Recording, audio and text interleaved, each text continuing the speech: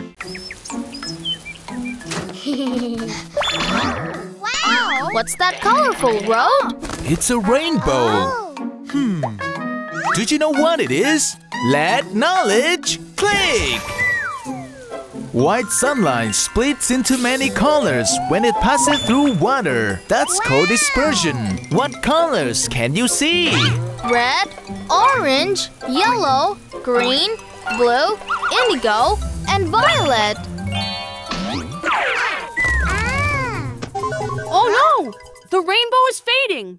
Rainbows won't stay for long. Hmm. Rainbows only appear when sunlight and tiny water drops are both in the sky.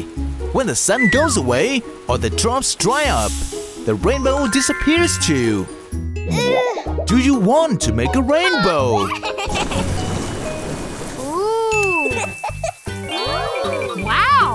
A real rainbow!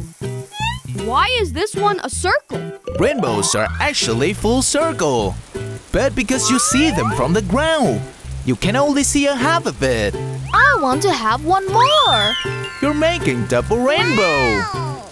A double rainbow happens when sunlight bounces twice inside a raindrop. It makes two rainbows. The second one is lighter, and the colors go the other way around. Can a rainbow ever be upside down like this? Yes! Sometimes you might see an upside down rainbow.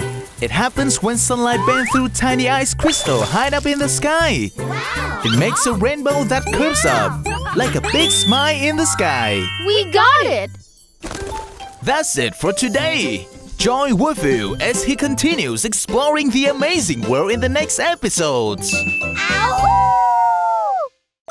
Discover everything around us on Wolfoo Explore channel.